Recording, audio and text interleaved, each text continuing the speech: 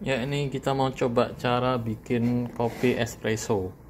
Ini ada udah mesin kopinya. Jadi pertama ini dibuka, terus kita masukkan air, air secukupnya ya. Kita masukin. Ini cukup kayaknya, kebanyakan bukan. Oke, sini kita nyalain. Nah ini lagi proses heating, jadi dia pemanasan gitu terus nanti kalau ini udah selesai harusnya berkedip kita buka siapin ini kopi shotnya. Makanya gini apa gini? Bukanya gini deh. Ini. Oh. nah ini kita tunggu ininya berkedip terus kita siapin espresso glassnya taruh sini nah itu udah nggak berkedip. Sudah tidak berkedip ya.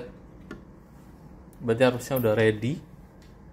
Which is itu berarti kita tinggal mau ini ada lungo ada espresso.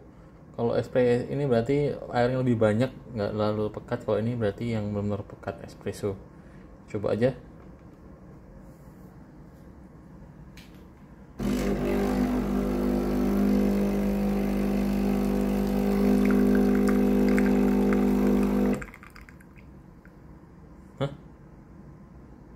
Mana? Weh, kok fail?